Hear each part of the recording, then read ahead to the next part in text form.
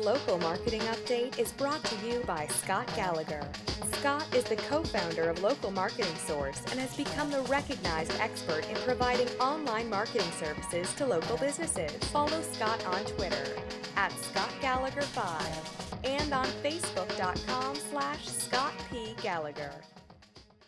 Hey, well, good afternoon, everyone. Scott Gallagher here with Local Marketing Source, bringing your weekly local marketing industry update. Now, next week's LMS member call is going to be Wednesday, April 30th at 4 p.m. Eastern. And don't forget to listen and subscribe to our podcast as well as our YouTube channel. Now, um, I got, I got. You can see I'm wearing some Blackhawks uh, attire today. While we're into, we're well into the playoffs, and uh, tonight's somewhat of an important game. So here I am in Chicago supporting my team, and got my Blackhawks hat on. And uh, you don't want to see my hair right now. This is a little bit messy, but nonetheless, I've got a really good call for you this week. And I know some of you are just listening and on the line, so you really can't see me. Uh, but we just had a good little laugh about two minutes ago because, well, anybody that's on the webinar right now, I'll go ahead and show you. You can, because if you're live on the webinar, then you you really can't see me until I turn on my webcam. But there's there's my webcam. You can see me now. Uh, you can see I'm in front of a green screen and whatnot, but I'm going to have a little bit of a laugh because I'm wearing a green shirt underneath. Um, underneath my Blackhawks jersey and I'm sitting in front of a green screen, so I don't know how how well that's going to come through. But nonetheless, we've got a good week this week. Now, there's um, four different things that we're going to be talking about, and uh, it's interesting. This is a little bit of a change-up week.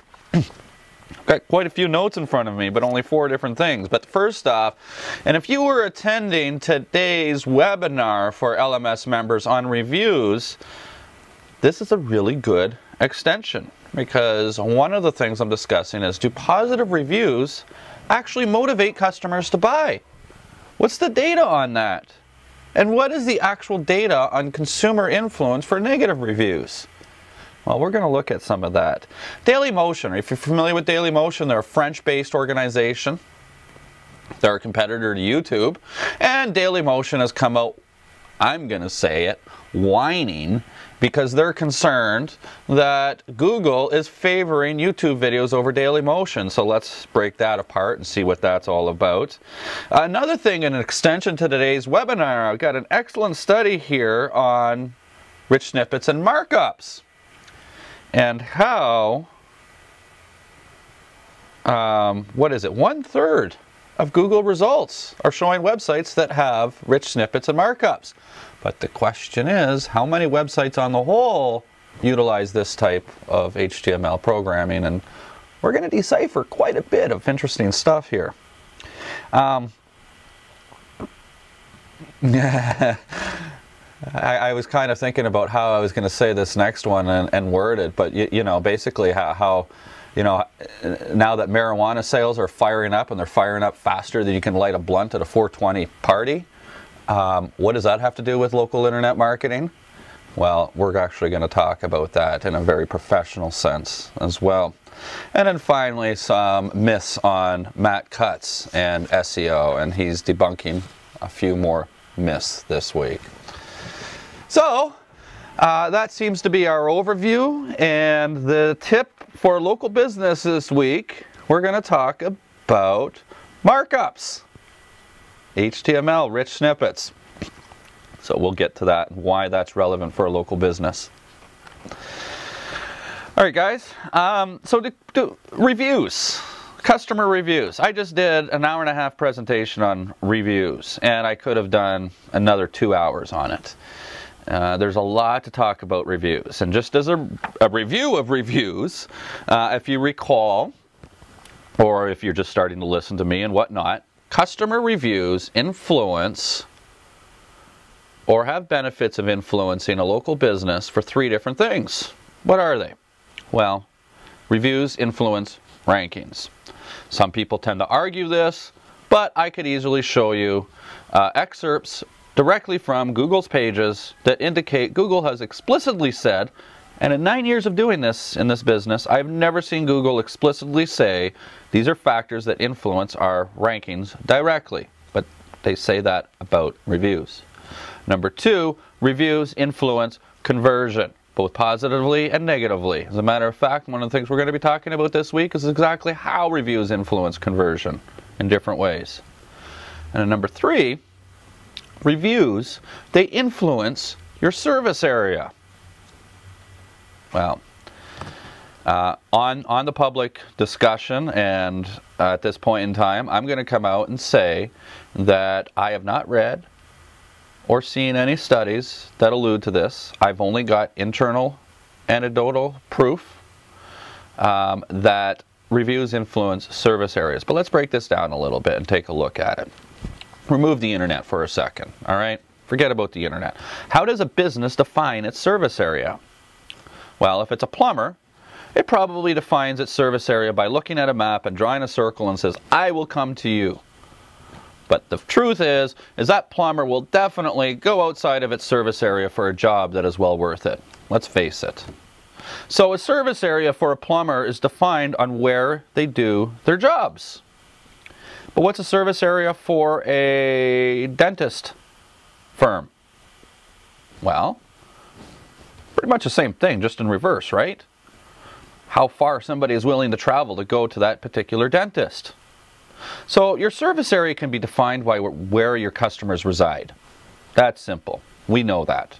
That's probably the most logical and the one way that's going to give us the most accurate description of a business's service area because it's real, it's reality. It is what it is. Well, we could digitize this in different ways. But let's consider something here. Is service area an important aspect to a search engine? Well, let's take the dentist scenario again. And we'll take a dentist in Manhattan and a dentist in Iowa.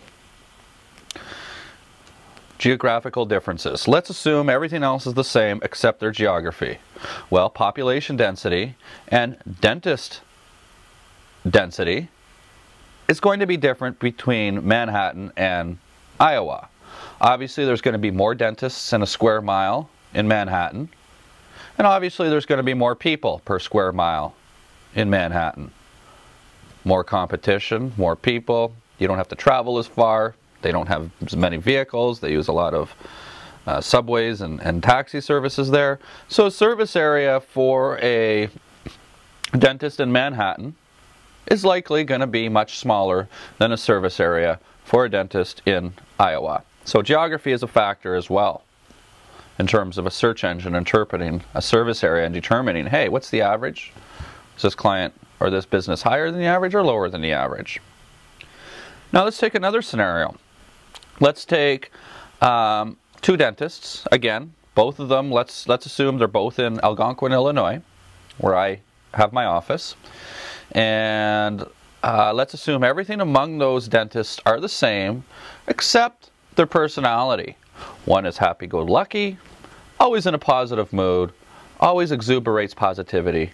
The other dentist can perform the exact same services and get the exact same results, but is just a crab butt. All right? Which of those two businesses are going to do better in the long run? Well, I could easily argue that the dentist that is happy and exuberates positivity is going to do better if everything else is, remains the same. So if that's true, and that's the case, that dentist that's happier is going to have a better business, more profitable business, a higher returning clientele, maybe a higher spending clientele, uh, clientele that's going to offer more referrals. In other words, it's just going to be a better business.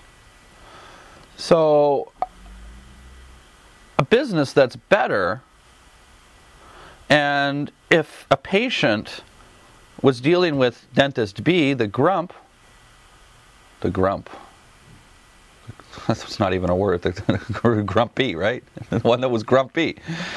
Um, chances are patients are willing to drive by or past a grumpy dentist in order to have a fruitful experience. In other words, their service area is going to be bigger. Their service area is bigger because they offer a better experience. So service area could not only be defined by the business, it could also be defined by geography, and it could be defined by the quality of the business. In other words, service area for dentist A and dentist B cannot be the same. It's not natural, it's not organic, it's, it's against organic. If Google were to assume that all dentists in Iowa have the same service area. Now, when we go back to the definition of service area, and that's where your customers reside, can Google get this information easily? Well, the short answer is obviously yes.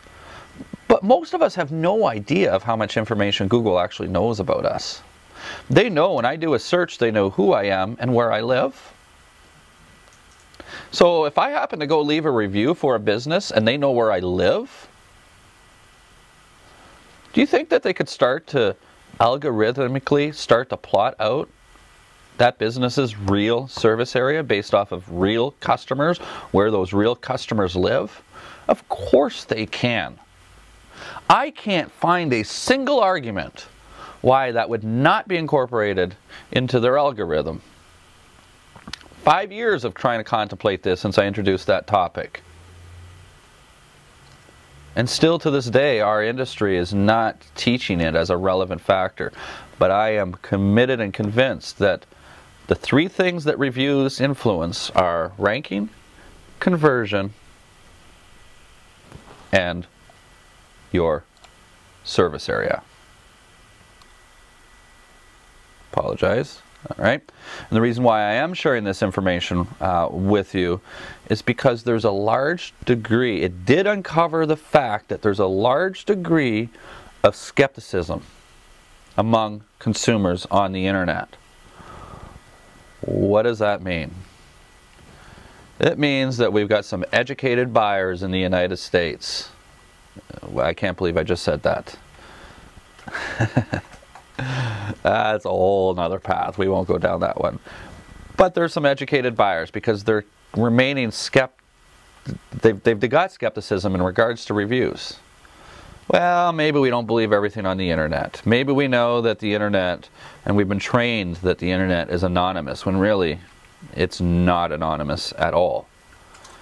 Um, maybe we may be fearful as, well, maybe they planted those reviews themselves, or they had their friends leave reviews. So, yeah, I can see the skepticism in there.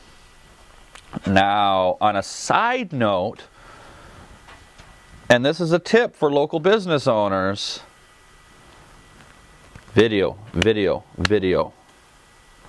I went through different aspects of testimonials that are relevant for local business or for agency owners. And I discussed um, in great depth why video is that much more influential. And if you can create organic videos that discuss reviews from real buyers, I think this whole study is, is just irrelevant to a discussion like that. All right, so Daily Motion. Daily Motion, c'est français, oui? it's a French organization. Um, yeah, French was my second language. I, I took French immersion for 13 years of my life, and you know, when you don't practice something, you're no longer fluent in it. Mais je comprends français un petit peu, which means I understand it a little bit. And je, veux, je peux parler français un petit peu. I can speak French a little bit, but I still keep my French nice and sharp for for the women. They like that. My son's chuckling in the background. Um, so Daily Motion has come out and said that Google is cheating, and I like this. I like this. I, I, find some amusement into this discussion. That's why I'm sharing it with you. They're saying that Google serves up its own video content over Daily Motion videos. They've come out and they said. Uh, when internet users search Google for Daily Motion videos, they mysteriously don't appear. Yet YouTube hosted alternatives appear among results. Huh.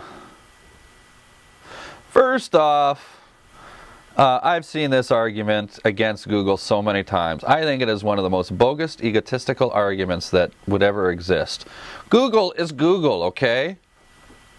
They can do what they want. Their job is to give what they think are the most relevant results. It's that simple. They're not obligated to show anybody's content, period.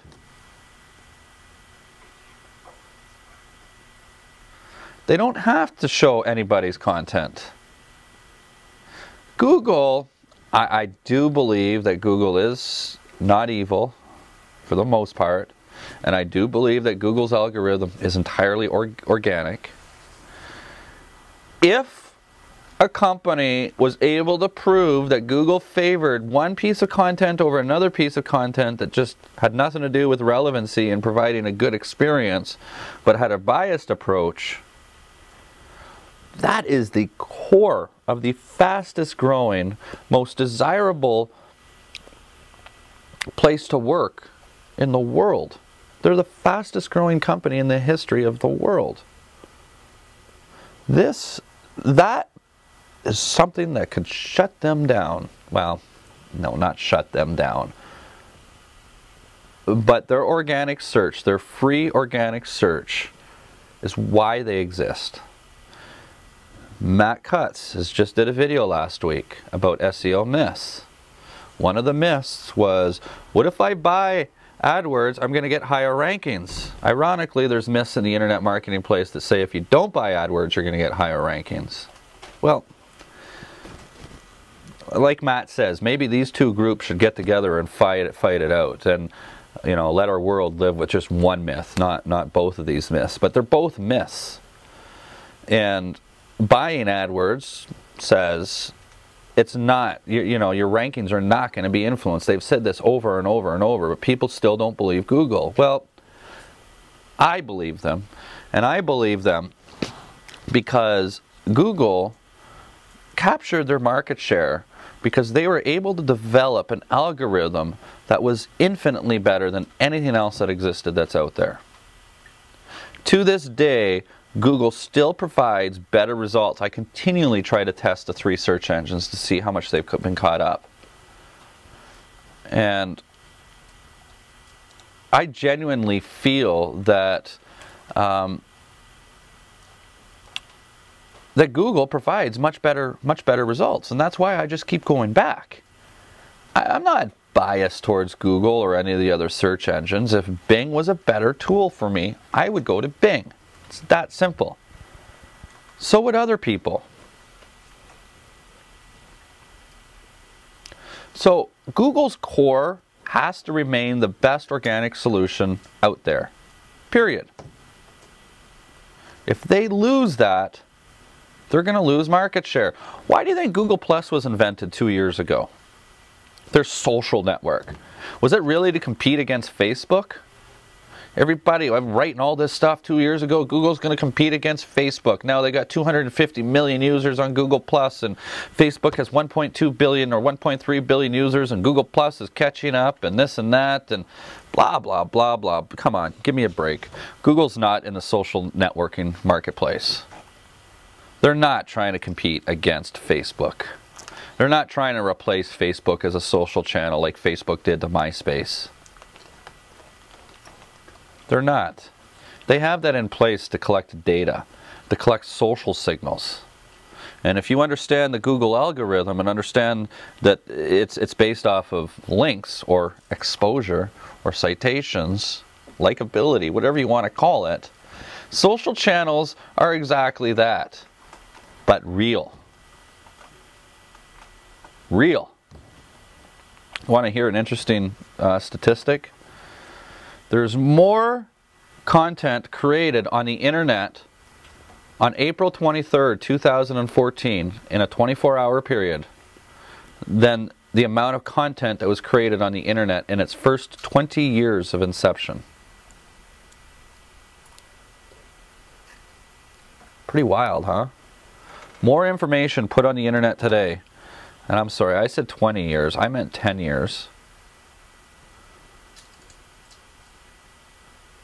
More information is created on the internet today in one day than its first 10 years. And I was on the internet within its first two years. My university was on the internet within the first three years. So, you know, it, it got pretty big in the 90s.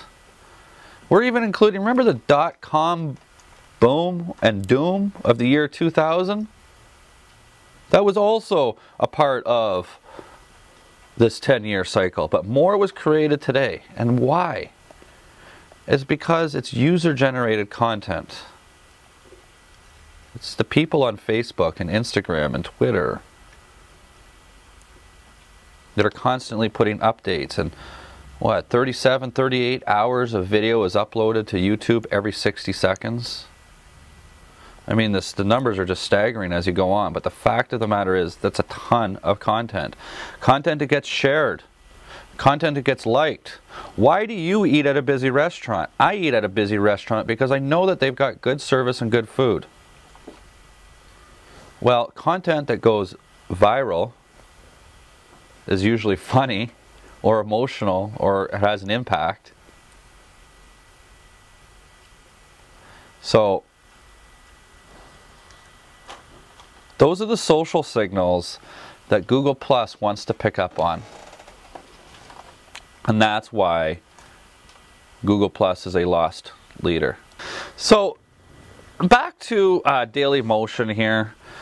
I mean, now that I've talked a little bit about why, you know, Google's algorithm and, and you know, why I believe that their or algorithm is entirely organic you know, as a matter of fact, I think I reported on a call two or three weeks ago that the head of spam search, which is Matt Cutts in their department, put manual penalties on different areas of Google. It hit big news back, you know, four or five years ago when uh, AdWords received some manual penalties. In other words, they they penalized one department of Google penalized another department of Google. One department of Google penalized the Department of Google. Um, give me one second, please. Thank you. My son is just playing around all the equipment and he knows better to get behind all the different wires and whatnot. Um, the uh, where, where was I going? I lost my train of thought here. Well, we're talking about Daily Motion. Oh yeah, department that penalized AdWords. I mean, that's their number one revenue source. And the reason why they penalized them is because they were in violation of the terms and conditions set forth by linking.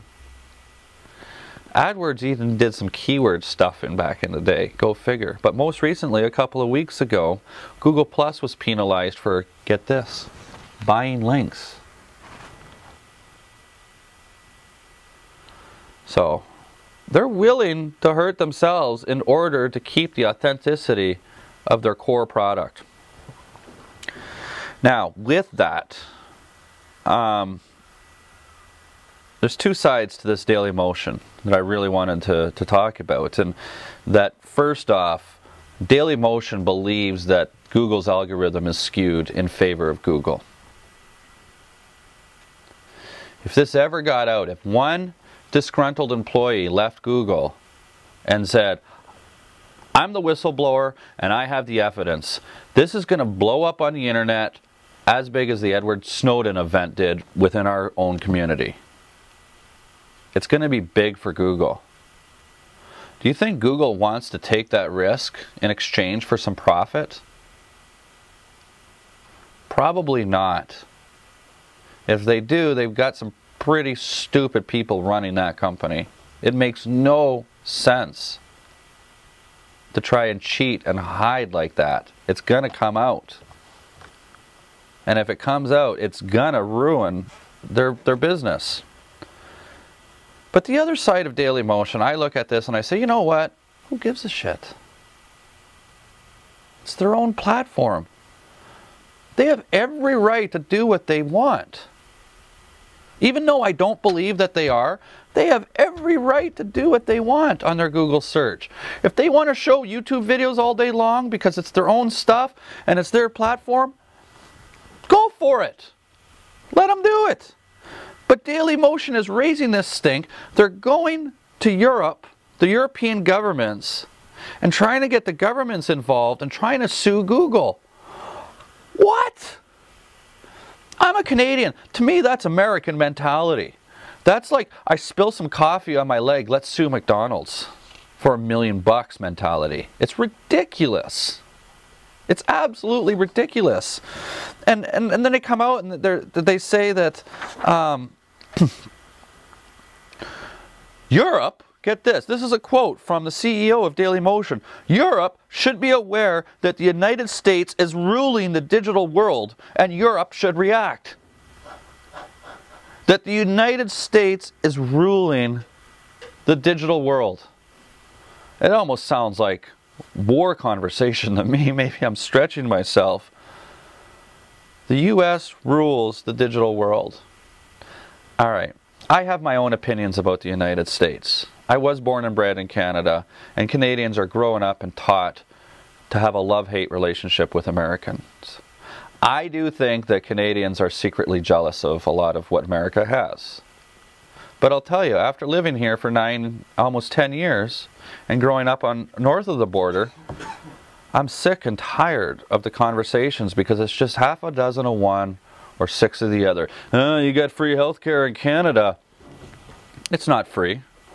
Well, your taxes are higher in Canada because we pay for health care. Well, your beer is a lot more expensive. Yeah, because beer drinkers are more taxing on the system but we don't pay for our children to get registered in school. We don't pay for our garbage pickups. Uh, I mean, the list goes on and on of the services. At the end of the day, my disposable income is the same. And I like life the same. I do miss my friends, but I got good friends here too. So th- th- those those two are the same. And this mentality that this guy has is that Europe should be aware that the United States is ruling the digital world. Well, no. They're not. The United States just happens to have some Americans that have built some very successful, strong companies that do well on the internet. It's not that America as a country is ruling the internet. It's that there are American Americans that have created companies that service the internet better. So, I'm sorry, Daily Motion. I'm not that happy. Uh, moving on here. Uh, boy, I'm taking this is a long call, isn't it, guys? Um, this one's a quick quick study here. 36%, over one third of Google results show websites that have the HTML markup, schema markup. One third of websites in results are utilizing markups.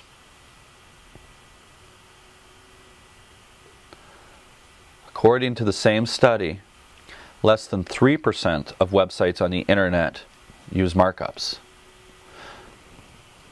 One third of results, 30, that's actually 36% of results utilize HTML markups, but only 3% of websites utilize it. Hmm. Do you think maybe your websites should have the HTML structured markup or rich snippets? Hmm. Maybe Google really likes those, huh? Hmm. Your websites should all have it period. This includes your authorship markup, your publisher markup, your H-card markup, which is for your address, uh, and H-review markup, all as a minimum. All four of those should be on every website, period, all the time.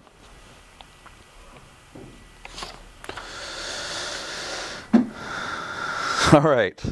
Um, so yeah, what, what did I say earlier? Uh, you know, marijuana sales are, are going faster now than uh, lighting up a blunt at a 420 party, right? Um, what the heck does this have to do with local SEO? And why am I talking about this right now? Well, for, for those that are out of the United States, um, there's two states in this country that legalized marijuana this year, January 1st. And I believe that there's 21 states that have legalized medical marijuana. When I first moved here in 2005, I think there may have been two or three states. You, yeah, two or three states that had medical marijuana. Um, so even you know, in nine years, it's it's just it's exploded. It's actually created an industry, and um, what's happening is there's a lot of gray lines when it comes to this because the state of Colorado, just like Canada when it comes to alcohol and, and tobacco, that they can't advertise. I mean, if you own a head shop or you're a dispensary, whether it's a medical dispensary or a recreational dispensary, uh, you can't advertise yourself at all. There's no way. But the question becomes, can you organically advertise yourself? We know that 50% of consumers utilize the search engines to find local businesses. So we have to assume that this big industry that's starting to blow up, uh, lots of money at stake here. Um, I mean, tax revenues in in Colorado are going to exceed $100 million this year.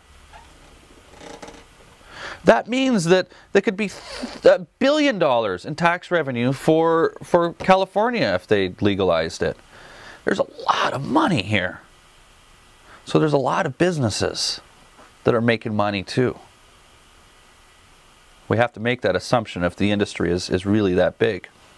There's over 300 dispensaries that opened up, recreational dispensaries that opened up in Colorado as of January 1st of this year. It's, the numbers are staggering.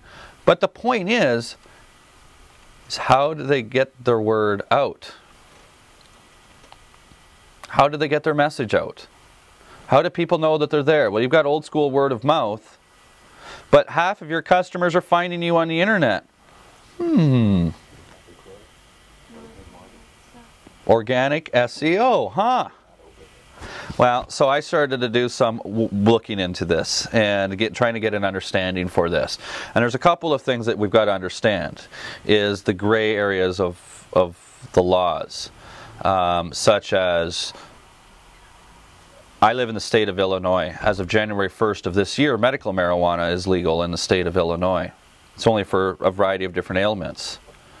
But can a can a dispensary buy AdWords? What are Google's opinions on that? You can't buy AdWords on tobacco or alcohol. But what about medical marijuana? That actually helps people. What about recreational marijuana now? Is it in the same class as alcohol and tobacco? Probably but it's not in the same class as medical marijuana. And I know there's a lot of people that claim that they smoke medical marijuana and really don't need it.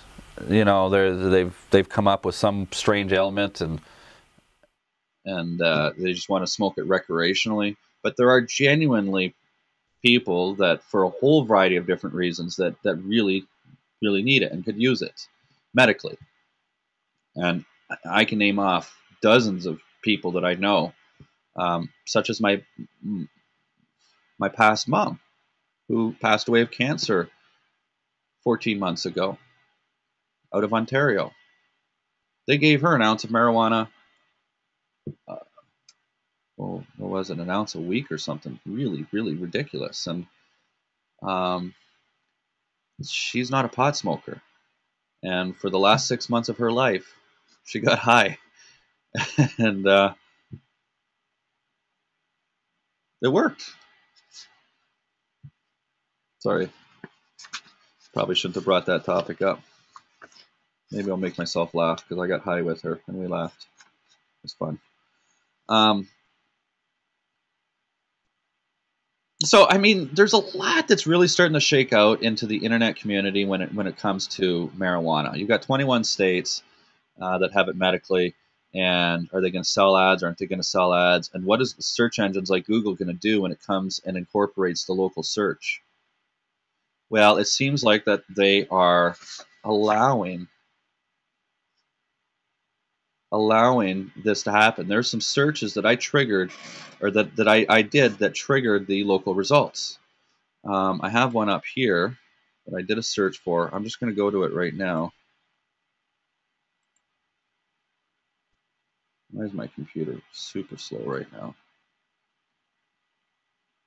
And anybody that's on the line, I'm going to go ahead and just share my share my desktop. And you can just see that this is a search for marijuana, Denver, Colorado. And you've got all of these local businesses. One, two, three, four, five, six, seven. So those are the top seven businesses in Denver. And we look at the map. Did you see all the dots? I don't want to do that. Look at all these dots, guys. There's 300 here. Why did these guys come out? So, A, there's a lot of money involved. B, that there's a lot of them. C, that this seems to be a changing trend.